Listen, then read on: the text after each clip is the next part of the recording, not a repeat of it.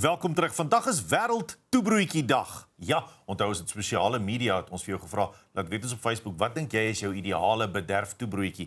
Maar nou praat ons oor toebroodjies wat 'n werklike goeie doel dien.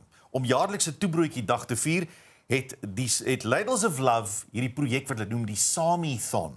En in hierdie projek beplan hulle om 90000 toebroodjies vir mense in nood vandag te maak. 90000 toebroodjies. Die stigter van Ladles of Love, Danny Diliberto kuier vanoggend saam met ons. Dis nie die eerste keer te hier is nie. Good morning Danny. Good morning. Thank you for having me. It's lovely talking to you again. Ladles of Love has done so much over the years and you've you've you've you've fed so many hungry people. Uh, uh, uh, what keeps you going before we get to the project here? What keeps Ladles of Love going? I mean, it's such a lovely project. Thank you so much for your kind words. You know, I think when you found your calling, it becomes almost godly, and uh, it, you just keep going. It's it's like God or whatever works through you and keeps you going. So once you have that calling, there's nothing that can stop you. And and and, and with this Sarmiethon project, what's the inspiration behind the project Sarmiethon?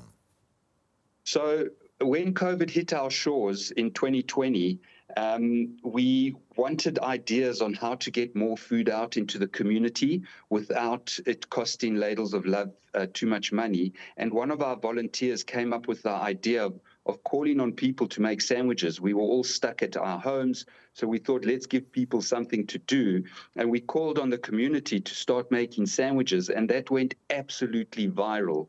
And almost four years later, we've well, Cape Town and Johannesburg, we've made over 5.5 million sandwiches. Um, and that has inspired um, uh, inspired our Sarmiethon. You know, today we don't get as many sandwiches. So the Sarmiethon is to remind people to continue making sandwiches because something that is so simple to us is a meal for someone who doesn't have access to food. So it's an inspiration. It's it's just something to keep people making sandwiches and feeding the community together. Absolutely. What is your primary objective with this Sarmiethon? How do we fight the fight against hunger and food insecurity? Well, you know, with so much poverty in our country, it's it's really difficult. Food insecurity is a major challenge. Um, so so the main objective um, of Sarmiethon is to get corporates involved. Um, they're going to compete against each other to make these 90,000 sandwiches. And then we're also calling on the public to go online, ladlesoflove.org.za, and buy and sponsor the sandwiches, 10 Rand each. Buy as many as you can. Uh, and that money will come to Ladles of Love, which will help us continue this fight uh, against hunger relief or for hunger relief. Danny, logistically, how do you get the Samis to those in need? So we're going to make these 90,000 sandwiches. It's happening here in Cape Town, it's happening in Johannesburg, and it's also happening in Hermanus. Uh, once the sandwiches are made, they will uh, go back to our warehouse warehouses and then from there our beneficiaries or the soup kitchens that we support are going to come over to our warehouse and collect the sandwiches and we'll distribute them through our 200 plus soup kitchens that we support. You referred to, to the soup kitchens that you support. Uh, how many are there? I mean, is it, it uh, uh, most of us are not aware of the need in South Africa. We're not aware of all these soup kitchens running. There are people giving their lives and giving their love every day to those who need food, who need to be fed. Um, um, are there a lot of soup kitchens running? Well, let me give you an idea. So on our books, we've got about 156 soup kitchens. Those soup kitchens, there's a few of them that support more soup kitchens, like one, mm. for example, they'll collect food weekly and then they split it amongst another 12 soup kitchens. Wow. We've got a waiting list of over 900 soup kitchens that we just can't get to because we don't have the funding for it. And that's just us. So it's, it's, you know, we don't realize those little non-profits out there, those little soup kitchens, they are keeping starvation away from, you know, they're keeping people from dying of starvation, to be honest. So, so it's that together with the, the public and the corporates that contribute towards food relief that really keeps our nation from going hungry. Well, and it is, if you think about it, such an atrocity. I, I didn't realize when you mentioned just the uh, on the, the, waiting list, the 900 that you have alone, and that's not even other companies that we're speaking about. I had no idea, to be honest. And then to me, what's an atrocity is how much food we waste. How much food we end up in bins at our homes because I don't know, we overcook, we don't necessarily think of other people. And you know, in something like you said, like something like a sandwich, which we take for granted, is someone's meal.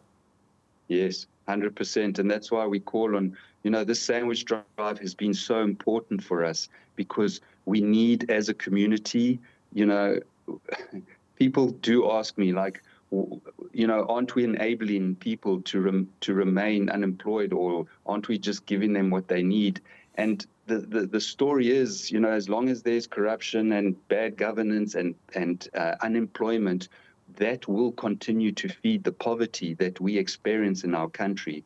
And if we together don't take care of that poverty, we will have an unsustainable country. So together we do need to keep each other fed. And that's that's the reality of today. And the sandwich really does that. And the reality is, a, a, child going to school today without having something to eat this morning, it's not his fault. It, he's not to blame for his situation. He's, he's a victim of hunger and of poverty, and, and, and we should reach out to those people. I mean, what are, what are the stories, Danny, that keeps you motivated? What are, what are the successes that you, you can say, here we've made a difference? I know you don't want to brag about these kind of things. That's not what it's about. But, but, but what are the successes? Well, the successes are that we have distributed over, since COVID began, we have distributed over five and a half thousand tons of food into the communities. To give you an idea, if you had to take those Pantechnicon trucks, those huge delivery uh-huh. trucks, um, there would you would have a queue about four kilometers long that would be packed with food. That's that's how much food that we've together been able to get out into the community. And then you've got all the soup kitchens that we support that cook this food that have generated over 40 million meals since COVID began. Wow. So that is and then when you say five and a half million sandwiches, I don't know, you know, if you had to put one sandwich next to the each other and mm. create a line, you would you would create a line over 500 kilometers long wow. of sandwiches. That's what we've done together, you know, and that's the power of collaboration. And and you know, when you ask what's my calling, that is it. that is it. Uh, how can we all get involved? Let's talk about this collaboration. How can how can we strengthen your hand? How can corporates help you today with this 90,000 sandwiches that you aim to make today? So the best is to go to our website ladlesoflove.org.za. Um, on there, you, your button will pop up. You can click on that. You can go and sponsor the sandwiches. As I said, 10 Rand for, for one sandwich. Buy as many as you can. That money comes to Ladles of Love and then for corporates to get involved. For us, it's about creating relationships. It's saying to the corporates, come on a journey with us and let's walk together to create change. And we can do that together. And for that, I'd say please go to info at ladlesoflove.org.za and we will connect with you. And together, let's create hope. Wow. Thank you very much, Danny, for what you and Ladles of Love are doing to help alleviate poverty in our communities. It is absolutely, I don't know, daar's nie manier hoe jy dit kan vervang nie. It, it, it, it's magical work. Thank you very much. And thank you for living your calling. Thank you. And thank you for sharing ladles of love and letting people know about us. Appreciate it. Sure. Nou ja.